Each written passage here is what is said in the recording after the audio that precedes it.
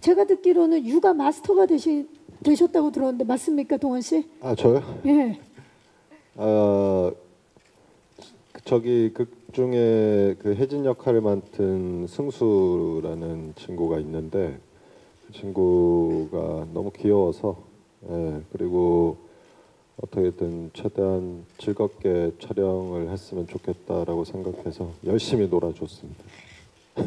아이들은 놀아주는 사람을 제일 좋아하기 때문에 지은 씨는 전 세대가 어우러서 함께 촬영한 현장 어땠어요? 어, 저는 저는 그 부분에 있어서 정말 강동원 선배님께 많이 의지를 했고요.